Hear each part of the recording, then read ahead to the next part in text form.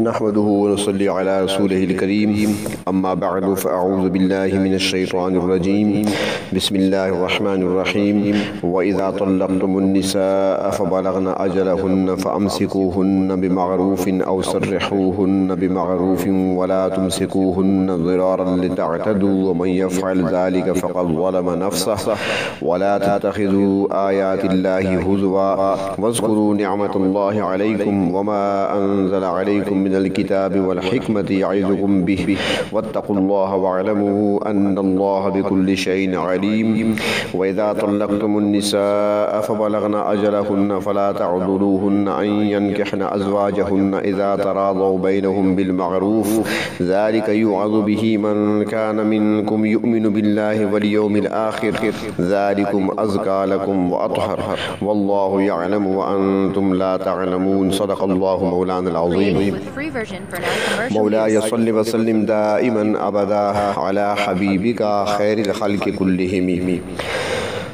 दर्स number 148 है और सूरतुल बकरा की आयत नंबर 231 232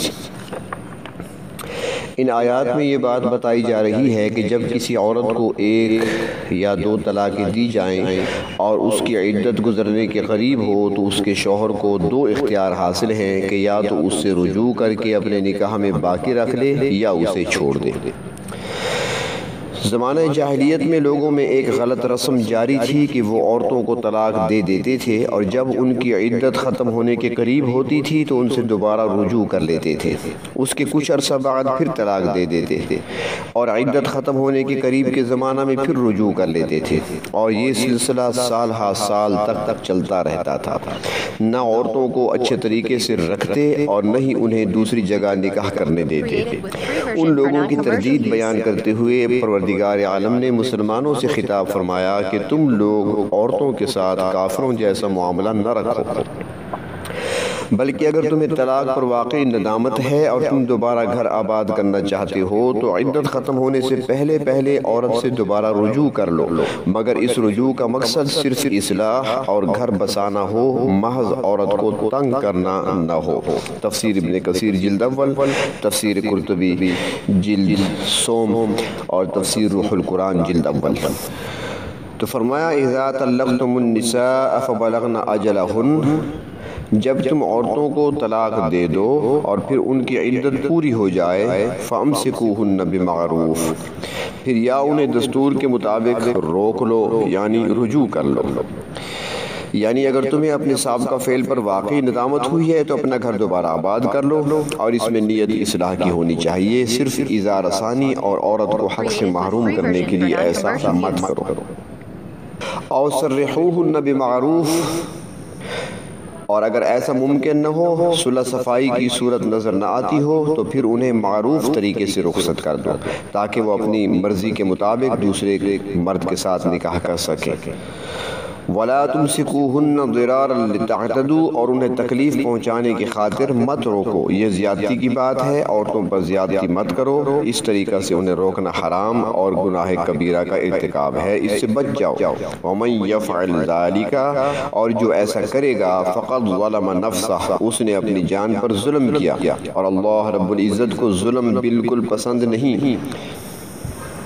वला तत्खज़ु आयातिल्लाहि हुज़ुवा अल्लाह की आयात को मज़ाक न बनाओ तो मस्खर का निशाना न बनाओ ये बहुत बुरी बात है हज़रत अबू दरदार रदी अल्लाह तु से रिवायत है कि ज़माना जाहलीत में लोगों की हालत ये थी कि अव्वल तलाक दे देते थे फिर ये कहते थे कि हमने तो मज़ाक किया था इसी तरह ग़ुलाम और बांदी को आज़ाद कर देते थे फिर कहते थे हमने तो मज़ाक किया था तो इस पर यह आयत नाजिल हुई तफसीर रूहमानी में जिल्दोम में और तफसीर बिन कसीर जिल्द अव्वल में है है। कि रसूलुल्लाह सल्लल्लाहु अलैहि वसल्लम ने इरशाद फरमाया कि जिसने अपनी बीवी को तलाक दी या ग़ुलाम और बांदी को आज़ाद किया और वो कहता है कि मैंने मज़ाक किया था, उसकी बात का कोई एतबार नहीं, उसकी तलाक और अताक यानी ग़ुलाम को आज़ाद करना ये वाक़ हो गया अबू दाऊद शरीफ और तिरमिज़ी शरीफ में रिवायत है कि जनाब नबी करीम सल्लल्लाहु अलैहि वसल्लम ने इरशाद फरमाया कि निकाह, तलाक और ग़ुलाम की आज़ादी ऐसी चीज़ें हैं कि मज़ाक और हकीकत दोनों सूरतों में वाक़ हो जाती हैं। तो फरमाया, वाला आयात अल्लाह ताला की आयात को मज़ाक बनाने का मतलब यह है कि अल्लाह ताला ने तो निकाह और तलाक के लिए जो हदूद मुकर फरमाई हैं, उनकी पासदारी करो और उनकी खिलाफ वर्जी से अपने आप को बचाओ। दूसरा मतलब यह है कि निकाह और तलाक के मामला में हँसी मज़ाक से अपने आप को बचाओ, क्योंकि निकाह और तलाक जिस तरह नीयत और इरादे से नाफिज हो जाते हैं, इसी तरह हँसी और मज़ाक की सूरत में भी नाफिज हो जाते हैं। फरमाया वस्कुरू नमत अल्लाह ताला का वो एहसान याद करो जो उसने तुम पर किया है अल्लाह रब्बुल ने तुम्हें ईमान की दौलत से नवाजा है तुम्हारे दरमियान अजीम शान पैगंबर ख़ातमनबीन जनाब मोहम्मद सल्लल्लाहु अलैहि वसल्लम को मबूस फरमाया है जो तुम्हारी तरबियत करते हैं इज्तमाही लिहाज से तुम्हें हकूमत अता की है, माल दौलत दिया है, जाहो इकतदार अता किया है, इज़्ज़त आबरू दी है। इन एहसानात को याद करके उसके शुक्रगुजार बन जाओ। और फिर एक ख़ास एहसान ये है कि वमा किताबमा एक अजीम शान किताब नाजिल फरमाई है और ये अल्लाह रब्ज़त का आखिरी पैगाम और आखिरी प्रोग्राम है जिसके बाद कोई किताब नहीं कोई नबी नहीं कोई प्रोग्राम नहीं होगा। और फिर इस किताब के साथ हमत भी नाजिल फरमाई है। कुरान पाक खुद सरासर हमत है, मगर उसके साथ नबी अकरम वसल्लम की ज़बान मुबारक से निकले हुए इर्शादात हमत से पुर हैं। कुरान पाक और जनाब नबी करीम वसल्लम की ज़बान मुबारक से निकले हुए हमत के अल्फाज जिनको अहादीस कहा जाता है। पर चल कर लोगों को दोनों जहानों की कामयाबी हासिल होती है। लोगों के लिए सरासर हिदायत और नूर है और किताब सुन्नत अता करना अल्लाह ताला का इस उम्मत पर खसूसी इनाम और एहसान है। याजुकुम भी अल्लाह ताला तुम्हें नसीहत करता है कि बुरी चीज़ों की तरफ़ राग़ब न हो जाओ। वतक़ुल्लाह और अल्लाह ताला से डर जाओ कहीं उसके अहकाम की खिलाफ वर्जी न कर बैठो किसी का हक ज़ाय न कर बैठो अपनी नीयतों को पाक साफ़ और ठीक रखो। वालमू और याद रखो खूब अच्छी तरह ये बात जान लो। अल्लाह शाइन अलीम के अल्लाह ताला हर चीज़ को जानते हैं। उसके इलम से कोई चीज़ मख्फी नहीं है। वो तुम्हारा तुम्हारे दिलों के इरादों को तुम्हारी नीयतों को जानते हैं। तुम उस परवरदिगार को कभी भी किसी तरह से भी धोखा नहीं दे सकते। आगे एक दूसरे मसले के बयान है। तो फरमाया वैज़ा तल्लक़तुमुन्निसा जब तुम औरतों को तलाक दे दो, फ़बलगना अजलहुन्ना, और वो अपनी इद्दत को पहुँच जाएँ, यानी इद्दत उनकी मुकम्मल हो जाए, ख़त्म हो जाए, फ़ला तादुलुहुन्ना तो उन्हें इस बात से मत रोको अयन कहना अजवाज हन्ना कि वो अपने खावंदों से निकाह कर लें एज़ा तरागौ बैनहुम बिलमारूफ जब उनके दरमियान दस्तूर के मुताबिक राजीनामा हो जाए।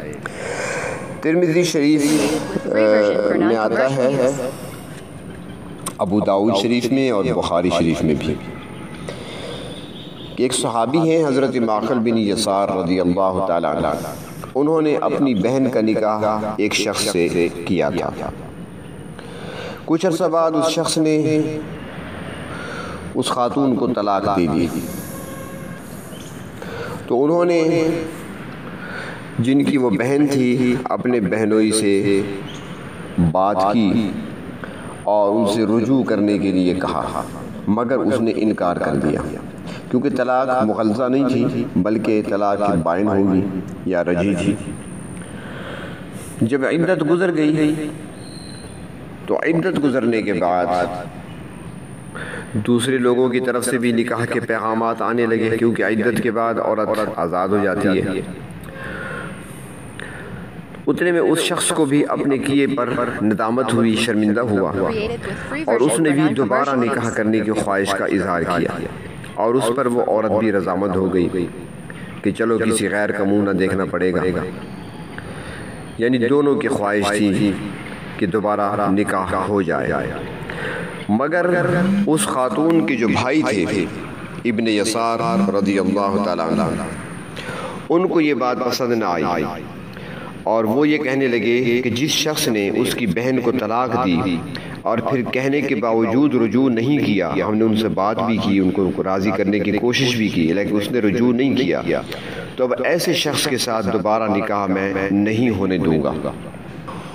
वो इस बात को अपनी गैरत के खिलाफ समझते थे कि उस शख्स के साथ दोबारा निकाह कैसे किया जाए? उन्होंने इनकार कर दिया।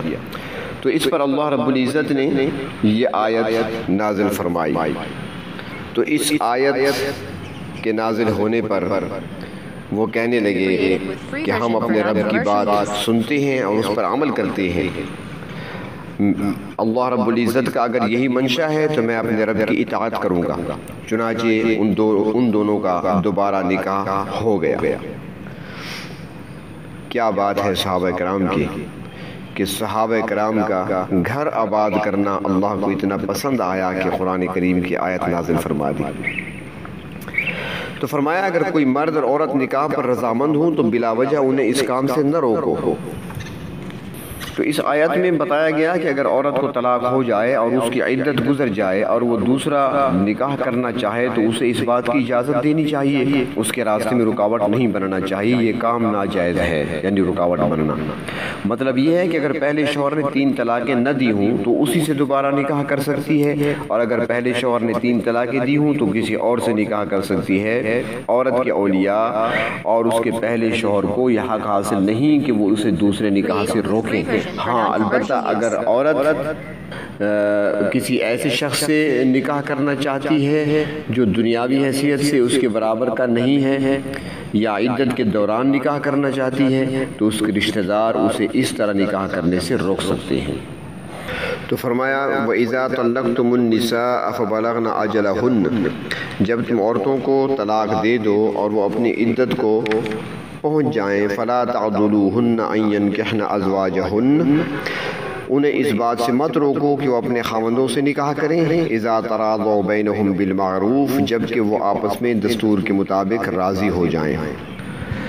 ज़ालिक यू आजू भी इस बात की नसीहत की जाती है, मन काना युमिन बिल्लाहि वल यौमिल आखिर। मन कान मिनकुम युमिन यौमिल आखिर। तुम में से उस शख्स को जो अल्लाह और क़यामत पर ईमान रखता है कि वो औरत के मामला में दखील न बने। ज़ालिकुम फरमाया, ये चीज़ तुम्हारे लिए ज़्यादा शाइस्तगी और ज़्यादा पाकिजगी वाली है। औरतों को निकाह सानी से, दूसरा निकाह करने से मत रोको, वरना कई तरह की खराबियाँ पैदा होंगी और इसके ज़िम्मेदार फिर तुम होगे। यहाँ पर तहारत से मुराद, ज़ाहरी और बातनी दोनों तरह की पाकिजगी है। निकाह कर लेने से उनके दिल भी मुतमिन होकर पाक हो जाएँगे और ज़ाहरन किसी गुनाह में मुलवस होने का अहतमाल भी नहीं होगा। यानी कि यहाँ पर फरमाया गया कि ये नसीहत उसको की जा रही है, उस शख्स को है जो तुम में से अल्लाह पर और क़यामत पर ईमान रखता है। यानी अल्लाह ताला और आखरत के दिन पर ईमान लाने का लाजमी तकाजा ये है कि औरत को दोबारा निकाह करने से न रोका जाए। इसका हुक्म उसके हुक्म के मान, इस हुक्म के मानने में बहुत बड़ी भलाई और पाकिजगी है। क्योंकि इसकी खिलाफ वर्जी की सूरत में गुनाह में मुबतला होने के मौके निकल सकते हैं और मर्द औरत की इज़्ज़त भी ख़तरे में पड़ सकती है। फरमाया वल्लाम ला तलमून। अल्लाह ताला जो ऐसे अहकाम नाजिल करते हैं, उनकी हिकमत को भी वही जानता है। तुम उसकी गहराई से वाकिफ़ नहीं हो। तुम्हारा इलम और सोच बहुत महदूद है। इसलिए अल्लाह ताला के हुक्म को पूरा करते हुए औरत को दोबारा निकाह से नहीं रोकना चाहिए, क्योंकि औरत को दूसरी मरतबा निकाह की इजाज़त देने में बहुत सारी हमतें पोशीदा हैं। अल्लाह तबारक व कुरानी अहकाम पर अमल की तोफ़ी नसीब फरमाए और और क़यामत के दिन कुरान हकीम को हमारे लिए सफारशी बनाए। व आखिर दावाना अनिलहमदिल्ला रबालमीन